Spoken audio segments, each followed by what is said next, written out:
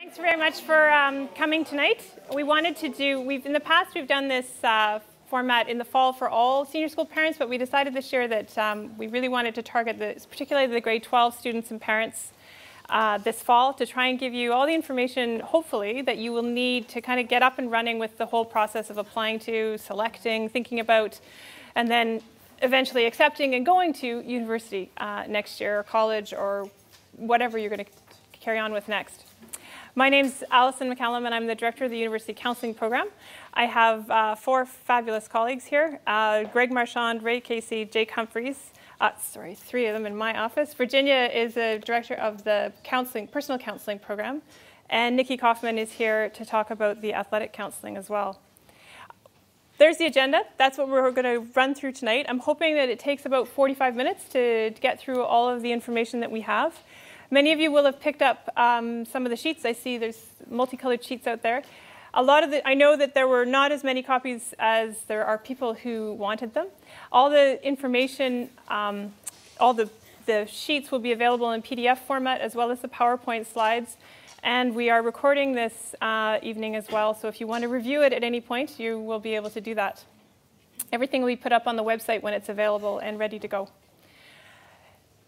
Virginia's going to um, start us off tonight by talking about some of the uh, important aspects about that transition to the university piece. Great, thank you. Welcome. I, uh, I have uh, great pleasure in having two roles out of many roles in life and responsibilities, and one of them is, of course, my professional role as uh, head of counseling and health and wellness, and the other is my role as a parent of two graduates from SMUS. And I want to just talk about the first one for a minute because part of our responsibility is absolutely looking at the well-being of the whole child. And we know that school is about, and life is about a lot more than just learning in the classroom. And so I want to talk a little bit about that tonight, just for a couple of minutes in the context of transitions. And as we know, this transition time period is one of the biggest in a person's life. The transition from secondary school to university or gap year or whatever is, is significant. So what, um, what I'd like to do is talk about um, the well-being, the health and well-being of the whole child. We know that every child is different. And we also know that we are all different as parents. And my road getting my two children through one is already graduated from university, she's 29, and the other one is uh, just going through university right now. The road is not always smooth. It's not always smooth for us, and it's not always, certainly not always smooth for our kids.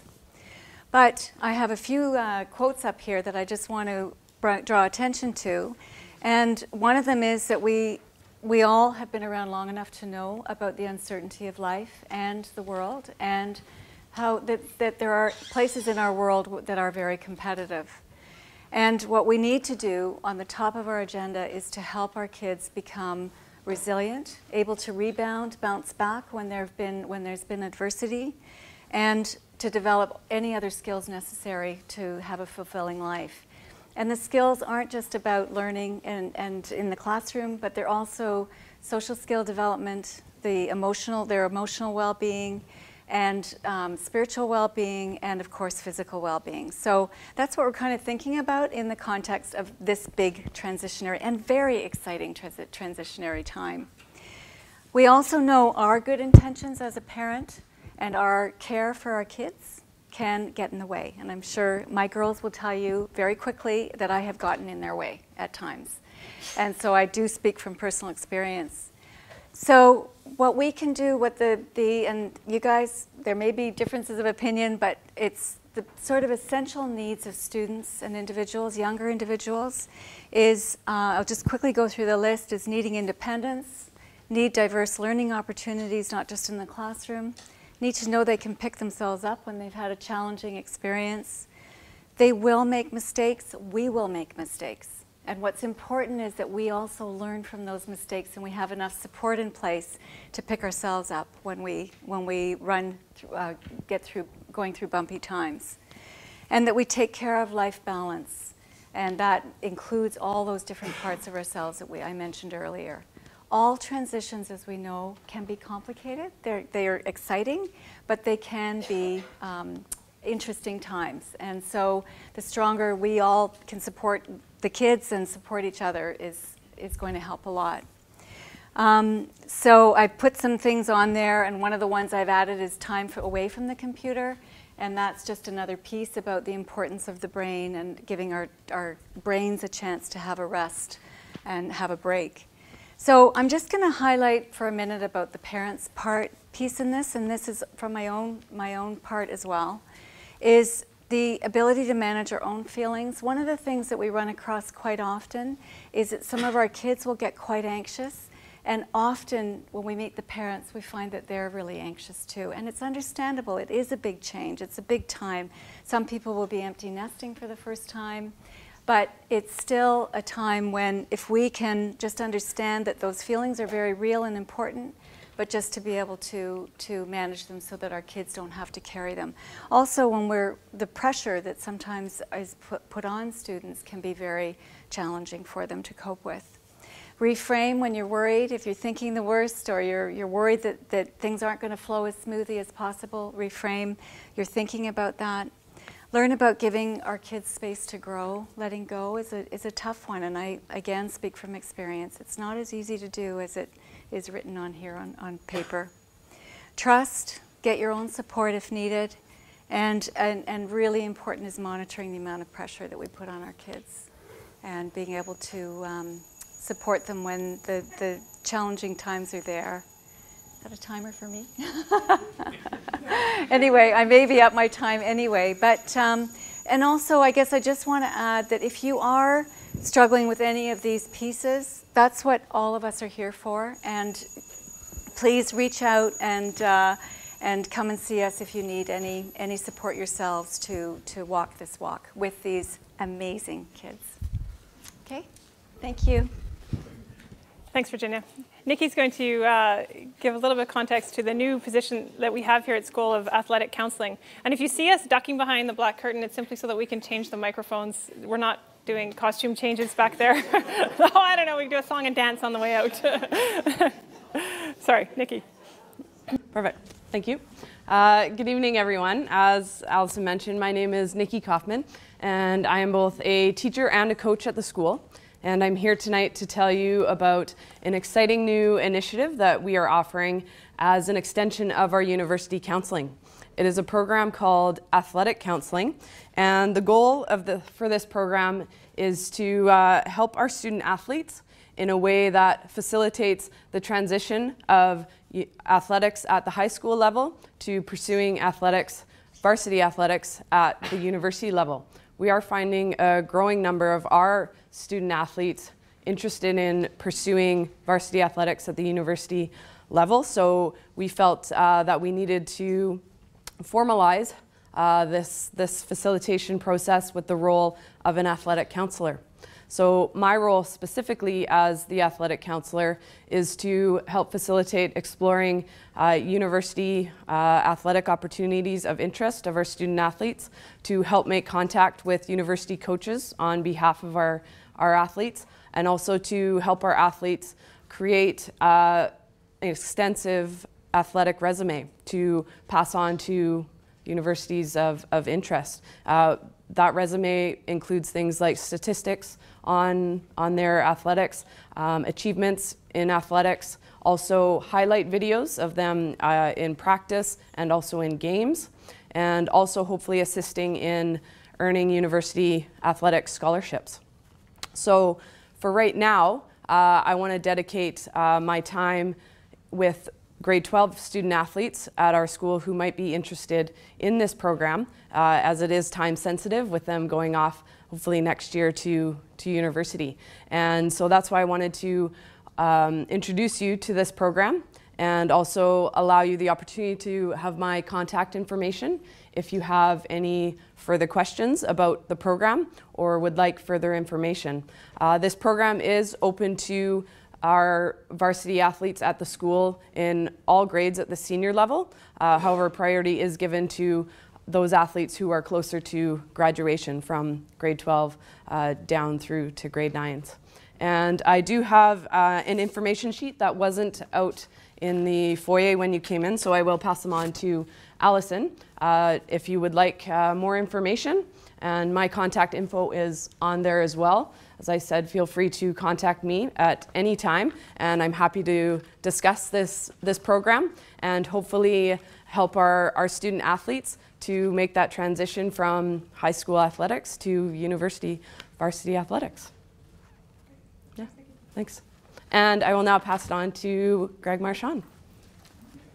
Hi, welcome everyone. It's very nice to see everybody here. We're really pleased that so many have turned out tonight. And it's uh, a great benefit to us to be able to pass all this information on to you at one time. So thank you again for being here. I'm going to talk very briefly now about something that had nothing to do with anything when I was at university, and probably the same for most of the parents in this, in this room as well, and that's social media so Facebook, Twitter, LinkedIn had were only ideas in people the back of people's minds way back then. But now they're a huge, huge reality to your students and our students. And it's something that we really need to be aware of, and students really need to be aware of.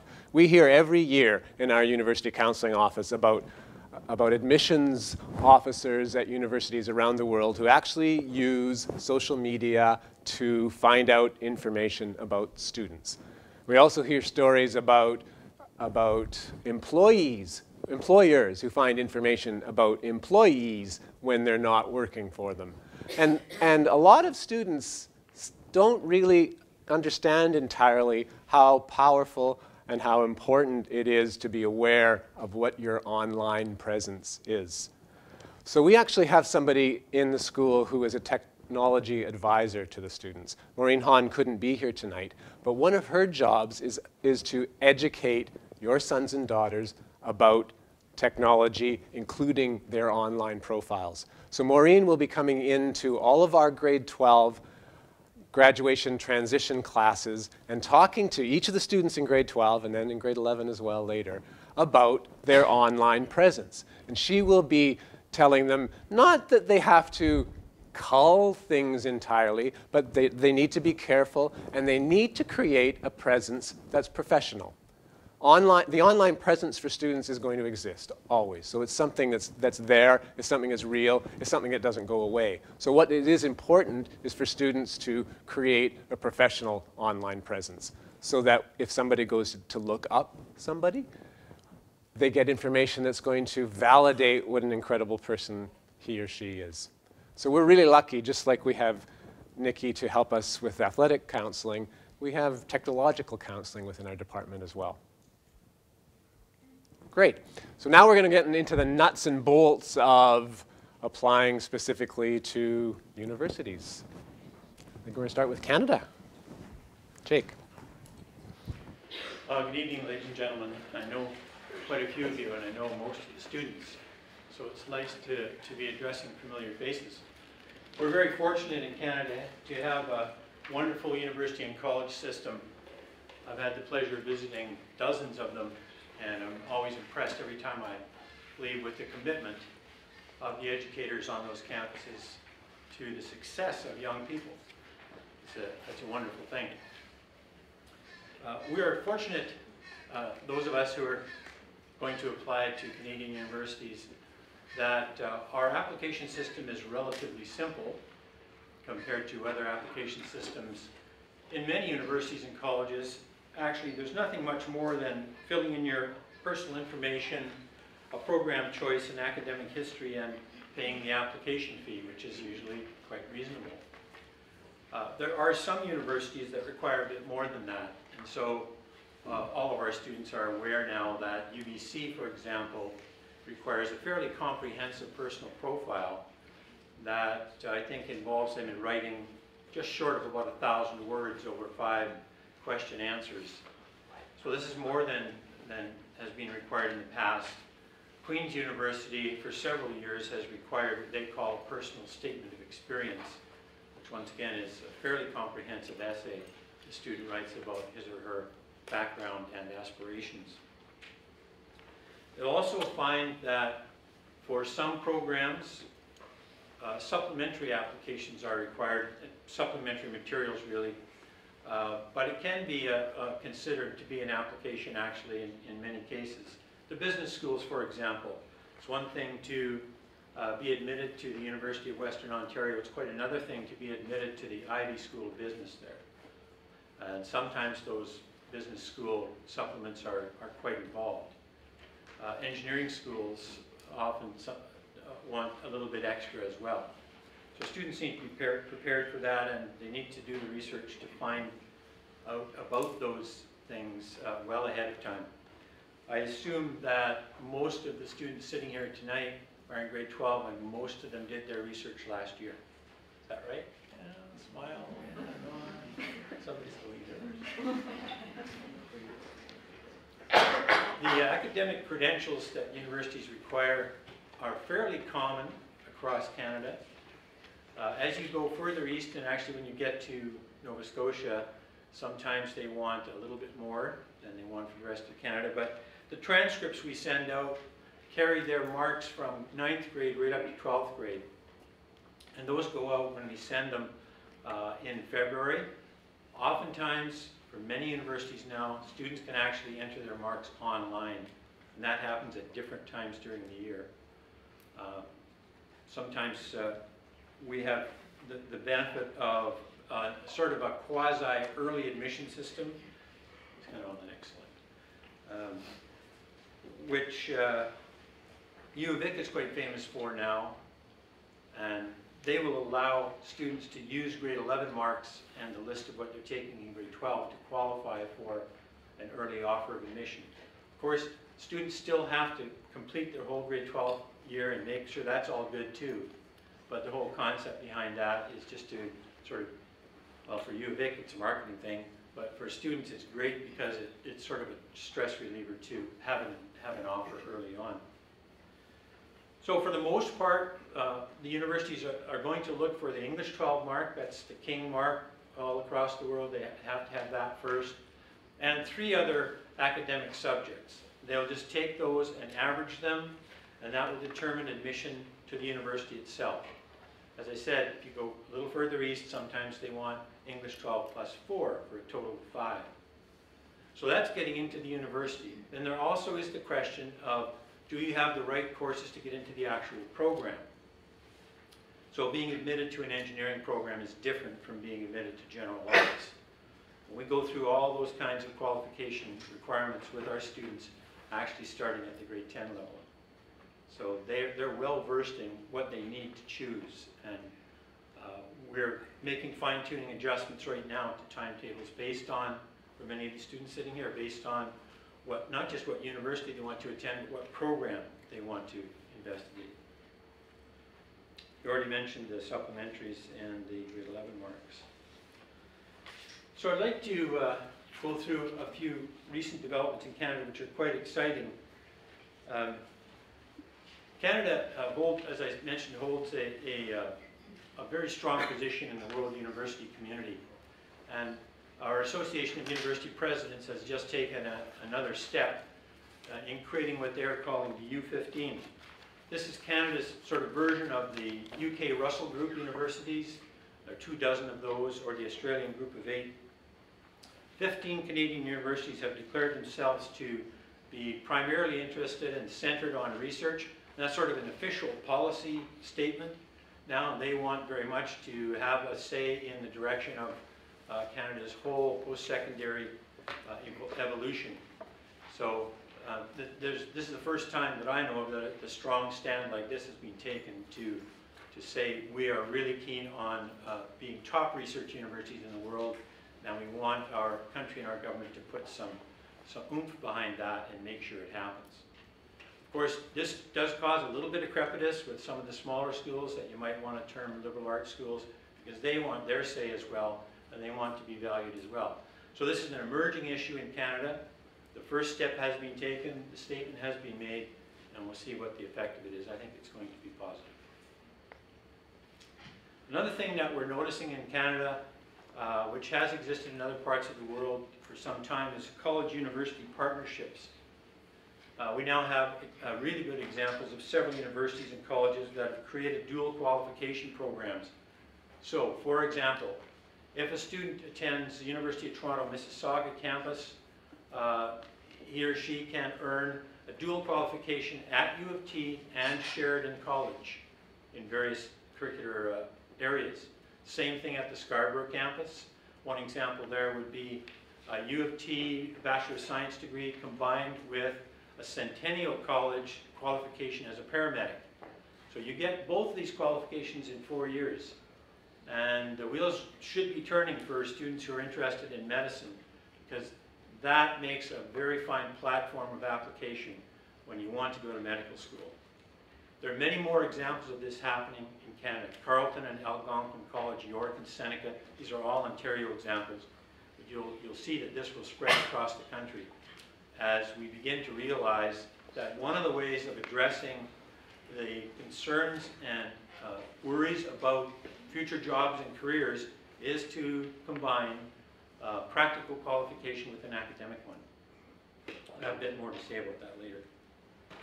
Another exciting thing that's happening uh, locally is that Boeing has announced, Boeing Aircraft has announced an internship partnership that they'll be offering through UVic, Royal Roads, and Vancouver Island University in Nanaimo.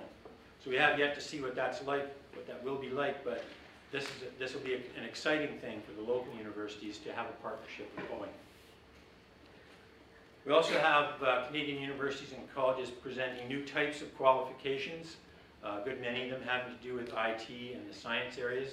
One example would be the Kwantlen College uh, Physics for Modern Technology degree. Um, seems to make pretty good sense that uh, doing a specialty like that would attract students and would produce good job, oppor job opportunities later on. So let's just uh, take a look for a minute at um, the, the, group of colleges that we have in Canada, which is wide-ranging and serves uh, our students extremely well. The college populations are exploding in some places, including up the hill here at Camosun College, where uh, every year there are new programs and there is a need for more space because more and more students want to do that. Colleges often have unique programs, uh, smaller classes, lower costs, hands-on learning environments, lower admission averages, and work experience in some of their programs. All of these things are of very, very great value to youngsters trying to move out of high school into uh, their academic training, especially when they're concerned about being employable. So a good many of these uh, programs, whether it's a certificate or a diploma or a transfer program, are orientated towards giving students skills they would need in order to move through the academic world a little more quickly, a little more easily, and come out on the other end uh, uh, strongly employable. Um, I think that a lot of the colleges are going to go the partnership route with universities, but even when they don't, uh, it's, a, it's a fantastic way to start your post-secondary education, to, to be in a college for a year or two years, and then transfer into university. Mrs. Casey quotes an example that's uh, well known to our office, uh, which just simply goes like this. If you go to the engineering faculty at, at UBC and uh, look at the third, third year classes, when students come in from the Camosun College Engineering Transfer Program to UBC, the UBC third year students want to grab a hold of them uh, as lab partners because their practical laboratory experience in the college program has been so strong. So we have students going to Camosun to do their engineering bridge program. Then they finish off their engineering degree at another school like UBC, for example. Their experiences are highly valued because they get so much more practical experience than the first and second year engineering students in, in a, uh, in a university setting. So that's just one thing that we hear. Students tell us that, so that's how we know that's true. And there are many, many other types of examples. And by the way, Mrs. Casey has, has put together a really strong document relating to college programs, which will be included with all the documents that go online for you to access later. So a college can offer you a certificate, usually it's one year in a specified skill area, or a diploma, more engaged in two years. Associate degrees, which then will allow you to go to a full degree. Some colleges offer full bachelor's degrees, and some of them are involved in the dual qualification model. So what I just want you to, to think about here is making sure that you, you've thought carefully through the college option for Canada and perhaps for other places as well, but specifically and particularly for Canada. We have a wonderful group of colleges. Some of them are called university colleges, some of them are degree granting institutions now, and they offer a tremendous option for students who want practical experience as they build their academic careers. So that's just a, a really short encapsulation of, of what's, what's available in Canada, what the application system is like, and some of the new things that are happening. Uh, in the interest of getting on with it, because we have a lot to do yet, I'm going to uh, hand over and uh, uh, Greg, I think you're going to talk about U.S. Alice is going to talk about U.S. colleges. Thank you. Two slides, yeah. So the, the U.S. colleges are not to be confused with the Canadian colleges. The U.S. colleges are equivalent, the, the name college is equivalent to a, a, university in Canada. They're degree granting institutions. In the States, there's, there's over 3,500 of them to choose from. In Canada, we have about 100 colleges and universities total in all of Canada. So in the States, the, the number of choices you can, you can make it's, is huge. It's insurmountable. Um, as a result, I'm not going to give you a whole lot of detail because there are as many, you know, variations on the theme as there are um, out there in the world. So, but in general, the U.S. colleges, we at SMUS, students, there are always a large cohort of students that are very interested in the U.S. system. We usually have maybe um, a third of the class who applies to the U.S., a quarter of the class that might go to the U.S. at the end of the day. And everyone has their own reasons for doing that. But it's really important with the US system because there's so many choices. Um, it's so important that that research starts really early, that students are, are thinking about what the, where they might like to go, that they are narrowing it down to, to determine what's going to be a place that's going to be a good fit for me. Within that 3,500 colleges, there are, there's just, there's, some, there's something for everybody for sure. And so it's really important that you do the research, and we've encouraged students to do that starting in grade 10 and 11 um, in, the, in the grad transition program, where we work with the students individually, and we also set them off on research to try and find out, okay, where might I like to go in that in the great United States of America? It's a big, it's a big place. One of the other ways that's really valuable, and the same would be true in Canada um, or anywhere, is to, is to do some kind of campus tours. So if that's something that, that is possible for students to do, whether they're applying to Canadian or American or, or wherever, um, it's a great way to, to get a really good feel for the campus. This summer I spent um, eight days in New York and Pennsylvania and visited 11 college campuses. So there were three campuses in one day, which was a bit mind-boggling. But it, in each of them, it's, it's, still they're still very distinct experiences. So you can really get a, a, really good sense of what that place would be like for you if you went by putting your feet on the campus. Um, and that's so I can't value that highly enough. It's it's really important if you can do it, and it will help you make hopefully much stronger decisions as you're going. Here at school, what we do um, is we, if you were here at the very beginning, you may have seen the slides at the beginning talked about the university presentations. So all throughout the fall, we'll end up having um, somewhere close to 80 or 90 universities come to our campus.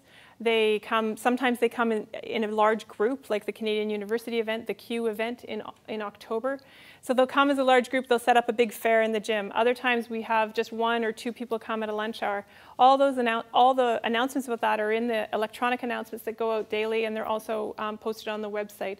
So if there's universities that you're interested in, it's definitely worthwhile to, um, to go to those presentations, talk to the presenter, and especially for the US system. The, the US colleges, um, they like to come to our campus, they like to see the, the, the high schools that students are applying from they very much rely on a holistic process when they're, when they're evaluating students for admission.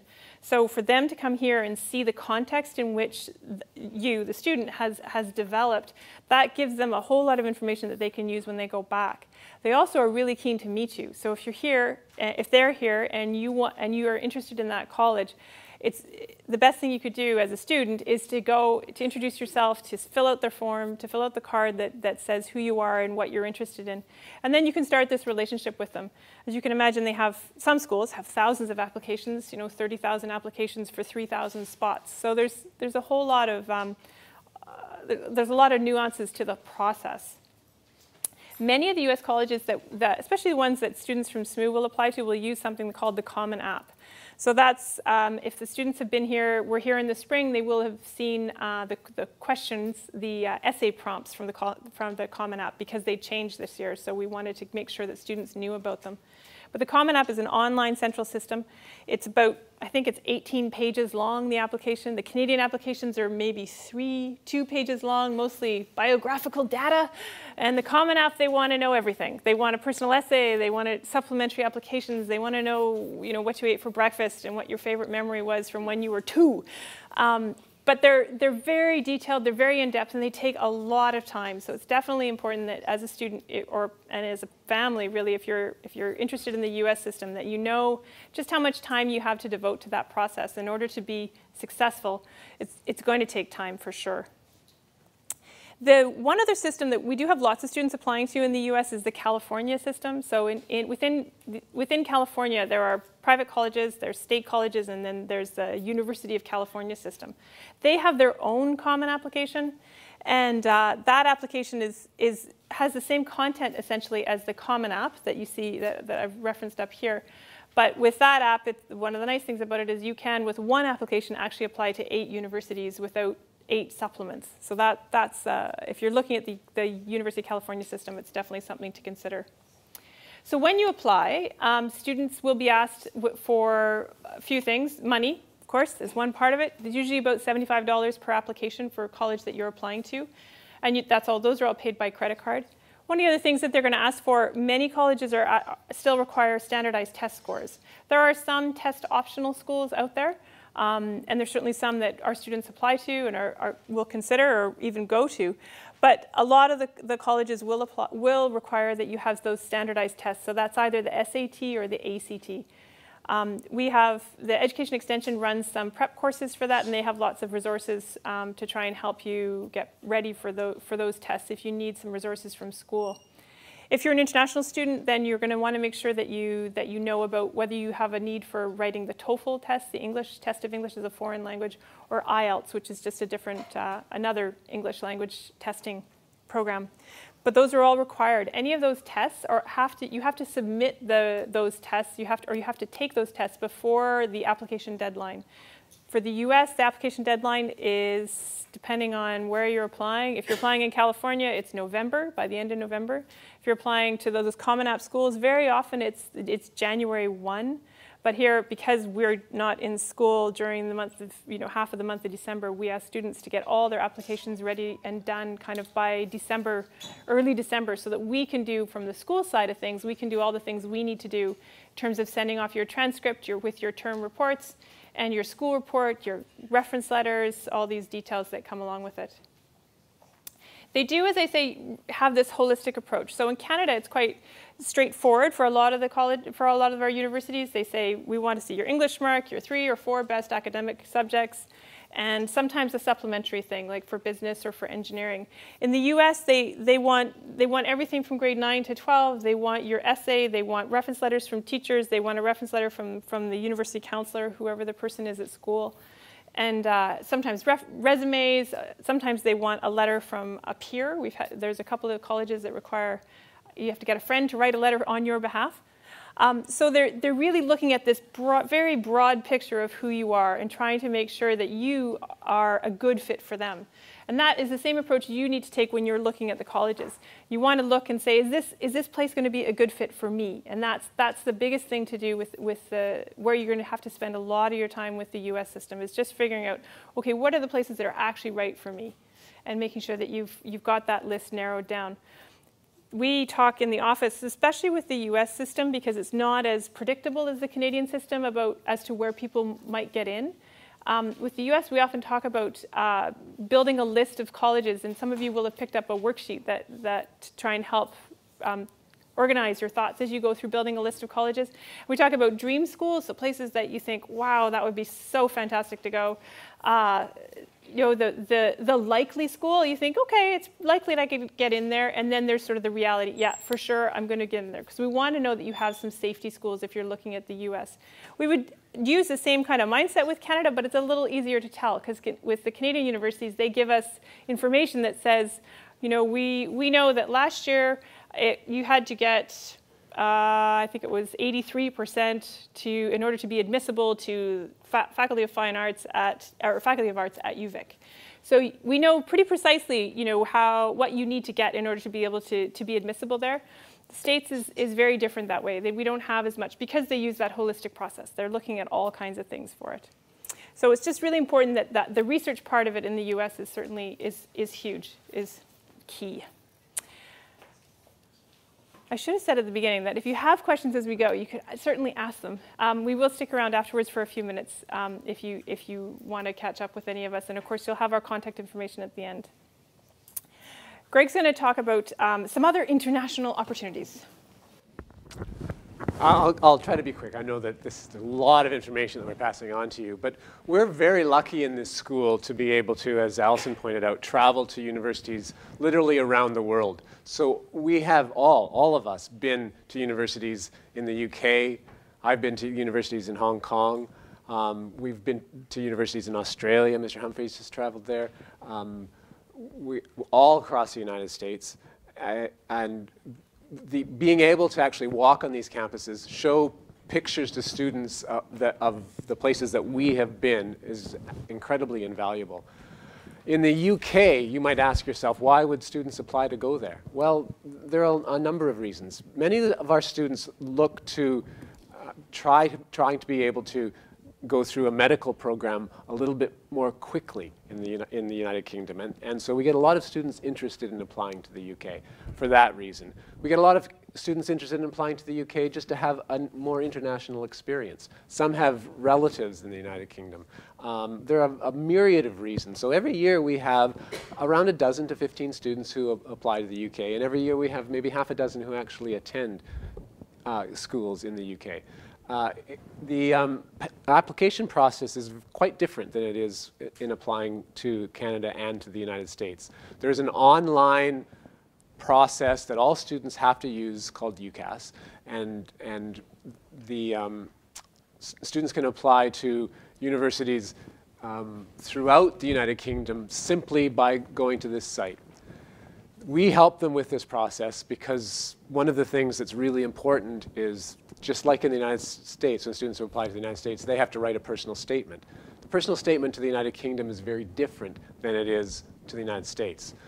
The, the, student, the schools in the, in the United Kingdom want students to talk about how they match the subject area that they're applying to. They don't want to hear about what they had for breakfast at all. They want to hear about how they are going to be biomedical students especially if, if students are applying to medical schools. I put the date for medical schools up there, I think on the next one, um, because it comes very, very quickly. So that's another thing that's, that if, if a student is applying to Oxford, Oxford or Cambridge, we call them Oxbridge, to any kind of a medical school, including dentistry and veterinary, they have to have their application completed by the beginning of October, October of this year. So any students who are interested in applying to the UK have had to talk to us already about that because we've had to go beginning to think about that process. If you haven't, you need to see your counselor right away because this process it, it's just so, so fast. We also have to have, ask our teachers to supply predicted marks for their students, anticipated marks that they're going to get by the end of the year when they apply to the UK. And that asks an awful lot of, of, of teachers. But it's one of the reasons why we say to our students that you've got to start the year running, especially if you're thinking about the UK. So if you are at all interested and you haven't talked to your counselor, you need to do it soon. Hmm. Yes? Do you think it would be better to apply with the Canadian citizenship or with the British citizenship? It, it's, um, you're, you're, it's a different, different system and you're, and you're, you're looked at differently. Um, but it is easier to get into the UK as a citizen. So yeah, if you have, if you had citizenship, it actually is really valuable. The process of applying to different parts of the UK is slightly different too, especially for medical school. If you're looking at a medical school in Ireland, and we've had students get into Irish medical schools, you have to go through what's called the um, Atlantic Bridge program that's down the bottom there, which is based in California. It's, it's, California has the clearinghouse for, uh, for Atlantic Bridge, so all of your information goes down there and then it goes over to Ireland. It's, it's, it seems odd, but, but that's how it's done. Um, the, the deadline's a little bit later for that. You don't have to have it done by October. It's closer to November. But it still is a process that, that requires an awful lot of early work by students. You don't have to apply to a medical school or to Oxford or Cambridge in, in uh, the UK. We've, we've had students who have, who have, been, have gone to Bath, have gone to Leicester, who've gone up to Scotland, to St. Andrews, to Edinburgh, to Glasgow. So there are students all over the United Kingdom from, from here. And the, the dead, deadline is a little bit more rolling if you don't go to those top flight schools or to the medical programs.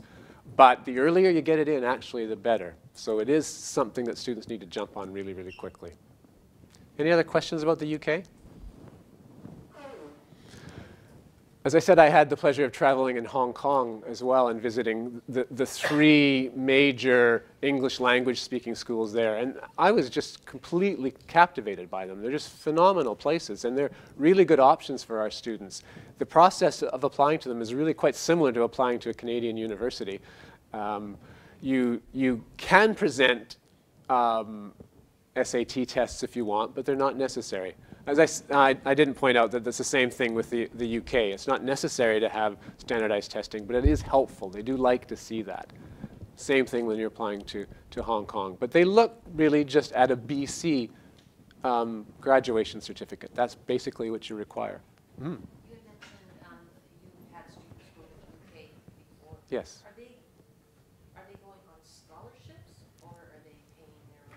Most of them are paying their way. There, there isn't a lot that's available for scholarships for students going to the UK. So, so that's something we talk to students about too. Sometimes, sometimes uh, there's, there's more money available to go to, to the United States. Um, uh, Mrs. Casey is going to talk a little bit about financing when she talks, uh, when, when, when her turn comes just next. But, but but because the schools in the United States, many of which are need blind, if, if students and their families present the, the fact that they uh, actually are in need of money, it can, be, it can be relatively inexpensive to go to those great schools. In the, in the UK, it's, it's a bit different because there's not as much money available. Although we did have a student last year who got a full ride scholarship to Cambridge, so there have been students who That's very rare. Uh, we've also, I haven't traveled to Australia, but Mr. Humphreys has, and, and uh, ha has incredible stories about Australian universities. The one difference uh, applying to Australia, though, and this is something that we, we, we talk to our students a lot about, is the fact that they have, in the Antipodes, a much different time frame for university. So they don't start university until January. So students, if you were applying to go to Australia for next year, you wouldn't be doing your application until the summer of this year. And it gets really confusing because you obviously want to have an acceptance somewhere. So it, it becomes a toss-up to say, well, maybe I'm going to try to get somewhere in Canada or somewhere in the United Kingdom, and then hope I get into Australia, and then maybe I'll go there in January. Or I'm just going to apply to Australia only and forget about any other universities. So it's a tough decision. You have to make your mind up pretty early about Australia if that's really where you want to go. But there are some phenomenal opportunities there, and you can, you can come and talk to us about them uh, as well. And the, the, um, Australia is phenomenal in the fact that they have this global links learning abroad process so that students can actually get all the help they need from this um, arm's length institution that the uh, New Zealand and, and Australian universities pay for. It's, it's just really a valuable service, and, and we present students how they can get information about that as well. So truly, the world is our students' oyster as far, is that, is that right? Yeah. the pearl in the middle of the oyster. That's the metaphor that I wanted. and they have opportunities to go really wherever they want. And, and uh, we really like to try to encourage that. Canada's phenomenal, and we really look for what is the right fit for students. But we have experience to be able to give them some information to go anywhere they want to go. Another question? Um, how does uh, some kids after grade 12 go on what they call a gap year? How does that play into, does that really compromise uh, their option No, no. In, in fact, uh, more and more students are taking gap years that we've found that, that last year, a dozen or more. It was, it's really phenomenal how many have, have decided to do that. One of the things that we require, though, is that a student who's taking a gap year gets an acceptance at a university and then applies to have that acceptance deferred so that they can go off knowing that they have somewhere to go when they come back. And, and I, that, that makes it makes it so much easier for them to have that. Sometimes they don't go to that school, they apply somewhere else and go somewhere else. But to have an acceptance, de defer that acceptance, is just something in your back pocket when you go and take a gap year. That's right. You have to do it after you've been accepted, yeah. If you say, um, I want to apply, but I don't want to go, then you're probably not going to get in. but the process, the process can be a, a, little bit dicey, so, so we coach students about how they actually apply for a, a deferral if that's what they want to do. Yes?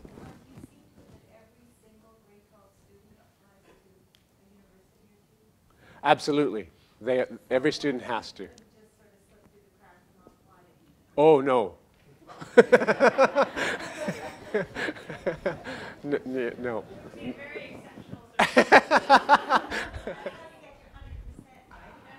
well, that's right. Yeah, that's right. Mm-hmm.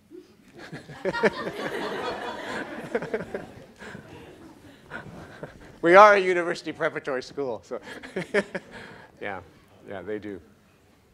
Uh, they, I mean, it, it's not like we arm twist them. It's what they want to do, and so we, we just we guide them. We take them by their hands. I think Miss Casey's going to talk about finances now, the money stuff. Yeah.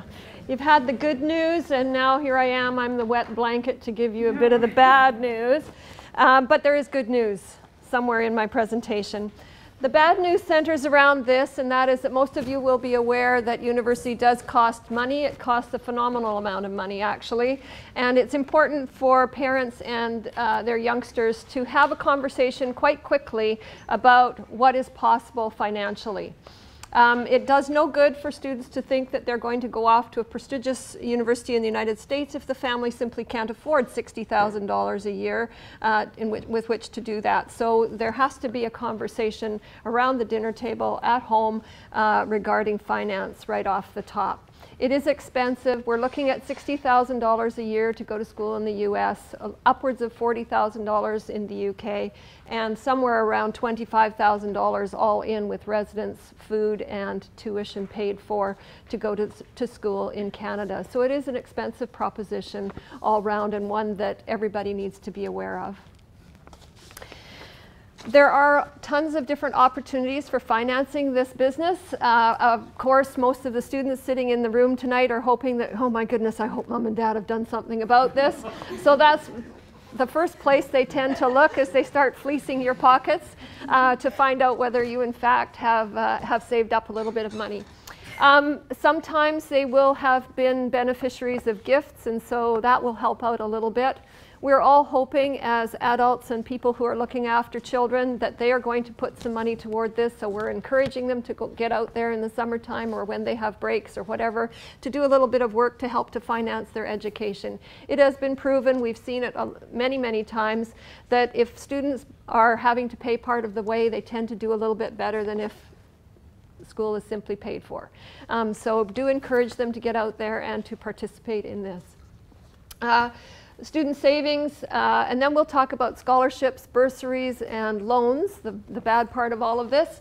Um, there is university financial aid, which Mr. Marchand alluded to a little bit uh, a little bit ago, and I'll talk a little bit about that. Co-ops and internships. These are the last four things on here are things that can happen once you're at university. So I would encourage you to, once you get to university or your post-secondary institution, to have a look at the opportunities for co-op educational experiences where you might be paid. For example, my son who went into engineering at UBC happily ended up in Fort McMurray for part of his co-ops and boom, his entire university education was paid for. Um, so uh, there are opportunities out of co-ops to, uh, to make a little money and, uh, and to go on, besides the fact that co-ops, I think, are a wonderful opportunity for students. Um, in-course scholarships, once you go off to university, there are opportunities to earn still more money. So don't worry if you don't get that full ride scholarship the first year. You could still be in the money in second and third and fourth years as you uh, become more used to how school goes at the university. So keep up the good work and quite likely you will be rewarded for it work study programs, particularly in the United States, but certainly here. If you go to Farquhar Auditorium at UVic, you'll notice that there are students standing around offering you tickets and showing you to your seat. Those people are on uh, work study programs. They are being offered employment at the university, and so that's another way that you can earn some money with which to go to school. And finally, do uh, all of you uh, do uh, do your tax income tax returns because uh, there will be money coming back to you as a result of uh, just simply being uh, a Canadian citizen. You will be getting some money back as a personal income tax individual. you will get a few, maybe a few hundred dollars back. So all kinds of ways that you can earn earn some money by going off to school and so on. Um, the types of awards that you're going to run into. First of all, scholarships. Yay, those are the great ones that we want because that's money in your pocket, nothing to be, uh, nothing to be paid back. Uh, bursaries are the same. The only difference between scholarships and bursaries uh, is, the only difference is that you uh, have to demonstrate financial need. You demonstrate financial need by, first of all, applying for um, a BC or uh, Government of Canada loan. Once you've submitted that and all of the paperwork that goes along with that, the universities or whomever will decide whether you are uh, whether you have uh, need. And once they've determined that you have need, then there will be, be bursaries offered. So it's essentially it goes by financial need. And lastly, the one that we don't want to talk about very much is loans. Um, loans are required by some people, um, by many people. In fact, most of the students at university are, are there having taken some loans and are working very hard and all of that sort of thing. So uh, loans are available to you. You do have to apply for loans through uh, through our governments, and certainly you could apply for loans personally as well. So the difficulty with loans, of course, is that they have to be paid back. It's not money in your pocket that, uh, that never can be taken away. You do have to pay that money back, and that's why we call it the baddie of the, of the uh, loans or of the financial situation here. Uh, possible, possibilities for scholarships, the types that are out there. We do have provincial scholarships offered by uh, the Ministry of Education. There are university entrance awards. There are major university entrance awards, and then there are tons of private scholarships. We just have to find them. I'll talk about the provincial scholarships first. There is the Passport to Education. We're given only a few of these, and uh, generally here at the school, they're given to the highest ranking uh, academic students and sometimes those who have done a great deal of service around here. Unfortunately, uh, the cutoff for that is very, very high. Where it might be slightly lower in some schools, the cutoff is going to be quite high here because we have a lot of students here who, who perform very, very well. You uh, must be a BC or a BC and ca Canadian resident in order to be eligible for all of the provincial scholarships. Um, the provincial scholarship changed last year, so the qualifiers are a little bit different. Uh, for this one, you have to pass English 12 with a B. You have to have passed all five provincial provincially examinable subjects, three of them in grade 10, uh, social studies 11, and then English 12. So all five of those must be passed. And then you have to be, your average must be in the top 5,000 in the province in order to win the money. For many of the students in, in this room and at St. Michael's, that's going to be a pretty easy thing to do. Uh, we will be populating, I think, uh, a large number of those 5,000 spots. Um, there are the Dogwood District scholarships as well.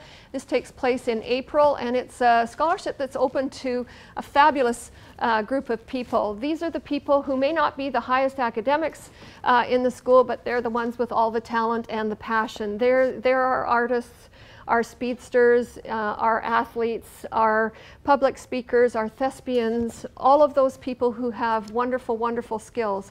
We had a, a boy from here uh, two years ago who was into model airplane building and he took his model airplane to the district scholarships, flew this helicopter and buzzed around all over the place and won himself $1,000. So uh, it, this, was, this was a hobby that he was able to explain at great length. Uh, he was able to talk about how the, how the helicopter operated, what was going on in the electronics and all of that sort of thing. It was a hobby that he did at home. He wasn't involved with that here, and yet he was the winner for that. So you can bring your hobby from outside to these district scholarships as well. So it's, it's really a fun evening. It's done at one of the independent schools here. You're competing against only students from independent schools uh, on the island. And generally there's about 42 awards given out in that. So it's a, there's, um, there's an awful lot of opportunity to win if you happen to have passion and a wonderful interest in, in something special. Moving on to the universities then, we have the entrance scholarships and many of you have this little pink sheet, the pinky orangey corally colored sheet in your paws. This is my cheat sheet to uh, Canadian University entrance scholarships. Um, it is not written in stone. These things change every year, uh, but it gives you some idea. I heard some people sitting behind me, they're going through it and they're saying, oh, I can get a 60% average or I can get a 70% average. I'm in the money already, and that is true. Uh, many of the entrance scholarships are based uh, entirely on uh, academic merit and they usually have a sliding scale. So if you get 70%, 70 to 75%, you're in the money for $500, 75 and above, $1,000, and when you get up to 90%, you maybe have $2,500 right off the top. So that when you hear about the, all the money that Smoothians are, are winning, quite often it's those merit-based scholarships that you're hearing about, supplemented by some of the really whiz-bang stuff that's going on in the major scholarship world. But a lot of the scholarship money is coming from uh, the merit scholarships. Quite often these, you, you don't have to apply for these, you simply send in your marks and they start sending you uh, offers of admission. Uh, attached to that is an offer of scholarship. Mm -hmm. Is this only for the first year and then after that it's not there? These would be primarily for first year. These are entrance scholarships. Yeah, well, yeah, that's partly it's marketing partly it is marketing, I can't, can't lie. partly it's marketing. They're saying, please, please, please come to our university and we'll offer you $2,000 to do that, or $4,000, or $10,000, or what, whatever it might be. So they're trying to encourage the students to come. That's why scholarships are offered. On beyond that, like I said, you, can, you may get in-course scholarships as you move through second and third and fourth year. So do apply again uh, because there is money out there. The major scholarships are a little bit different in that they are generally based on academic merit and what you've done as a community member. So that's why all of the four of us will be talking to you about being involved in your school and, and outside community because when you apply for major scholarships, you are going to be handed a five-page application form on which they're going to ask all about your, uh, your marks, but they're also going to ask about what you're doing around school and in your community. How are you volunteering? What sorts of activities are you involved in? Are you involved in student government or some of the programs that are going on here at the school? And you should be able to demonstrate leadership in those, in those activities. So you should have started way back in grade nine and you should have worked through uh, the service club until you were taking over the service club and then maybe initiating your own uh, activity. It's, it's those sorts of, um, those sorts of programs that actually are uh, are winning people scholarships. It's not the only reason, for goodness sake, for being involved in your community. It should be way down the totem pole as far as I'm concerned. But nonetheless, um, uh, we would like people to be well-rounded citizens here and ex excellent academics, and those, those are the sorts of people who will win those awards. Generally, those awards are full ride scholarships, which means that your, everything is paid for uh, for the first year, and then sometimes they knock off the um, the residents because they know that in second year people start to move on and don't go to residence anymore, so they'll pay your tuition for the, the subsequent second, third, and fourth years if you keep your marks to a standard that they expect, which is sometimes quite difficult to do.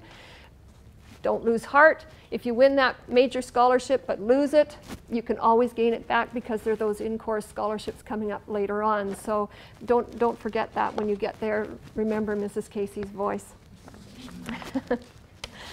Um, private scholar, scholarships, lots of private scholarships out there. You do have to hunt for them, and I'm one of the people that will be hunting for you. I have a file drawer in my office, which, uh, which I open very frequently, and we search for uh, private scholarships. And then, of course, they cross over through the internet, and you can certainly go out there and search for them as well. Uh, outfits as diverse as Coca-Cola, the TD Bank, uh, Zonta International, a women's uh, organization, all offer scholarships. And if you start adding up the $500 scholarships, pretty soon you've got your tuition paid for. So if you have time to work on this and to research and to apply, uh, then you can make yourself some money. So down to the nitty gritty. How do you apply? You simply, you, we would like you to create a resume in Naviance. Um, the grade 12s will know about Naviance. Um, we, we hound you about creating your resume. We would like it updated. Whenever we go into committee to decide on scholarships, we take the Naviance resume with us. So it is a really important document for you to complete so that we have something that gives us a general outline of all of the things that you've done. Uh, do, you will probably have to create a personal statement if you are going to be applying for the major scholarships uh, because that will be required of you. They will ask you without without a doubt, they will ask you about your leadership opportunities and how you've been a leader and what you've learned from your leadership experiences. Excuse me. You're welcome to see me. You will have had, anybody who's in grade 12 will have had at least three uh, emails from me already talking about scholarships. You know that the U of T major scholarship is going to be due fairly shortly, so anybody who's interested in the U of T needs to see me right away. The Loran, the major scholarship in all of Canada, is coming due in October, November, and I've emailed you about that one, and I think I've emailed you about one other. So uh, listen to what, when my emails come out to you, please don't just junk them, please just have a quick read. yes. I did not, no. Um, I could, I could start putting them up in the announcements if that would be of help to anyone. I, um, I think, I believe parents through the parent portal can see the announcements for each day. Mm -hmm. Um, the, in, the merit-based scholarships are for international students. The Loran is not, and nor is the U of T major. And I believe that that's true for uh, several of the other Canadian universities as well. But most of the universities now have, will open up the scholarships to um, international students. And some of them even have special scholarships for international students. So it's really important to go to the web pages and just go to, you'll find finance and scholarships, hit that button, and uh, go and have a look at what's available for people. Um, the students need to request reference letters, and you should do that well in advance. A teacher is not able to write a le letter of reference overnight. They need time to think about it, to, uh, to do a good job of the writing process. And so uh, please do give them at least two, two weeks and preferably more time. So as soon as you know that you're going to be applying for a scholarship, you should be talking to your teachers and requesting through Naviance uh, their references. Please do. I, I enjoy actually reading all of your applications and I enjoy helping you with them. So please do use my office uh, as a place where you can come for proofreading and for ideas.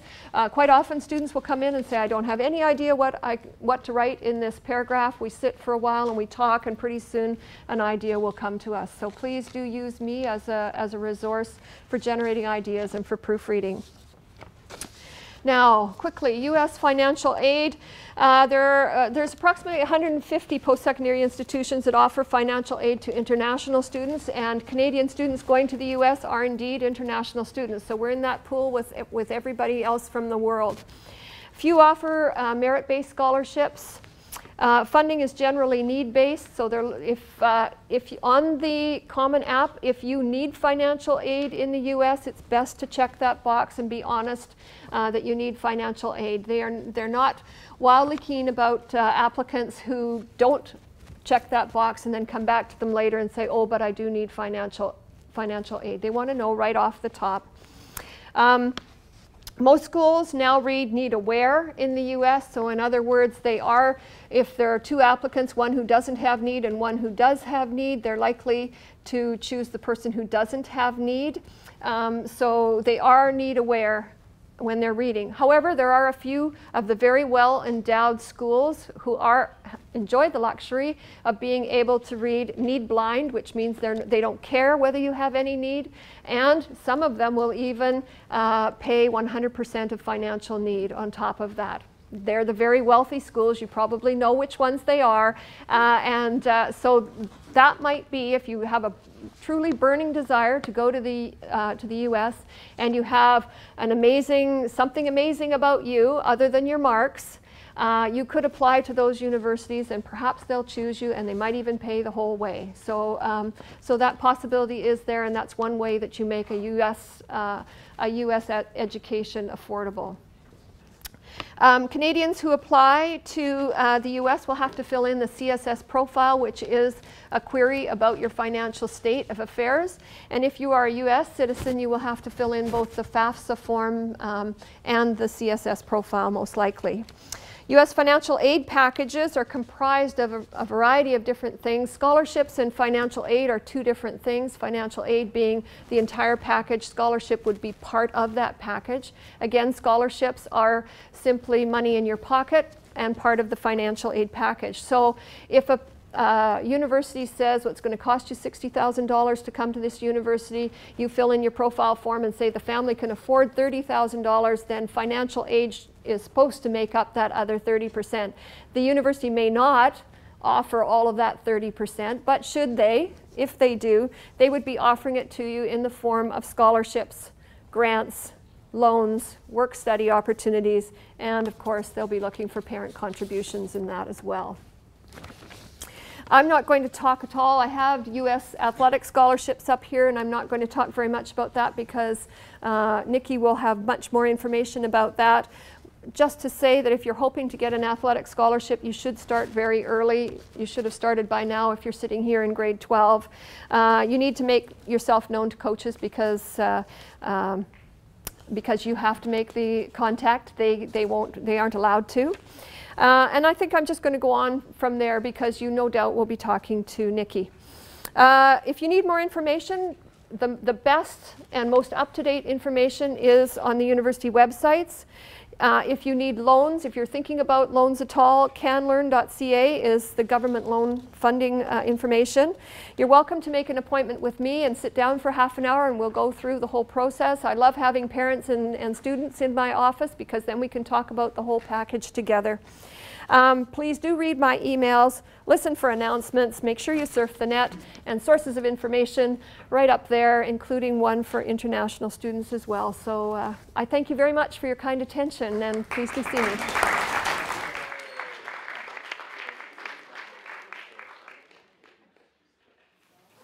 All right, so you've gone through how to apply, you've got how to pay for it, and now we just have, the, there's a great video that came up uh, last spring when we had a presentation by um, SFU. They came over, Simon Fraser University over in Burnaby came over and uh, did a really neat presentation for us that um, Jake's going to talk present. Over. Just a few remarks uh, before we start the video. We start the uh, whole concept of career investigation with the students in HCE 9 and then Planning 10. In the Naviance software that you've heard us refer to, which you as parents can be a part of as well, uh, your students go through the Myers-Briggs type indicator as a personality scan. They also can do a learning styles inventory that's based on the Holland Code system. And there is a University of Texas career clusters, career assessment as well. So there are online tools that they can use to start that process and an enormous amount of information comes out of those links. Another thing we do now, we're in our fifth year, is we have our Career Week. It's coming in February this year, where a large group of, of alumni come in to present their career paths. And we have visitors as well who are not alumni. Last year, we had a keynote speaker uh, who was a futurist. I don't know if, how many of you heard him, but he had uh, fascinating things to say about uh, opening up uh, what, what's going to be happening in the future uh, for, for uh, jobs. So we ran across this, uh, and the SFU uh, recruitment office actually presented it to us uh, at one point when they visited here.